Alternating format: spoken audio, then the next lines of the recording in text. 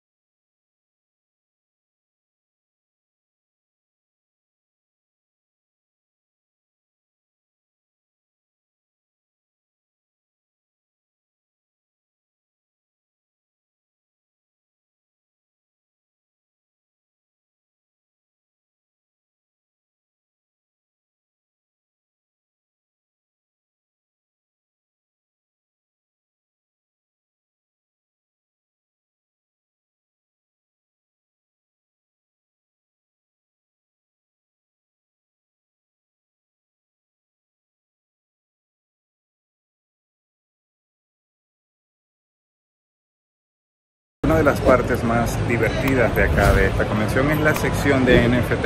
¿Cómo podremos verla en los tiempos modernos? Básicamente podemos ver los NFT de la siguiente manera. Obras de arte que podremos comprar directamente desde su exposición. Tenemos piezas muy psicodélicas como esta. Podemos prácticamente ver todas las piezas en un momento y comprar directamente las que más nos gusten. Piezas curiosas de arte como todas estas que tenemos aquí de la ranita piezas psicodélicas de arte real. Esto no es NFT, pero es bastante entretenido. Obras de arte muy, muy, muy psicodélicas.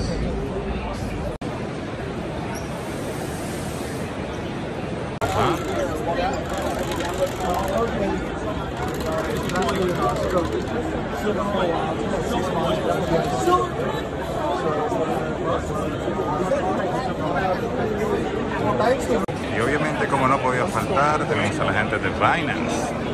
Podemos ver los minadores también. Inclusive podemos ver también una sección de juegos.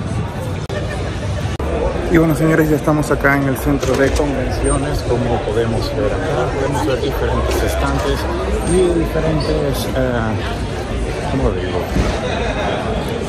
diferentes eh, cadenas que podemos ver acá. En este momento estoy, no, estoy frente a la estatua, al monumento que montaron y definitivamente es muchísimo, muchísimo mejor de lo que... Vamos a ir, vamos a ir. Con este monumento que tenemos aquí en nuestras espaldas podemos ver ya la adopción y el crecimiento que ha tenido las criptomonedas. Entonces para mí esto ha sido muy muy divertido de ver el crecimiento que han tenido las monedas y la adopción masiva que ha tenido las monedas en el último tiempo. Eh, básicamente lo voy a dejar con unas últimas tomas acá y espero que este pequeño mini blog les haya gustado.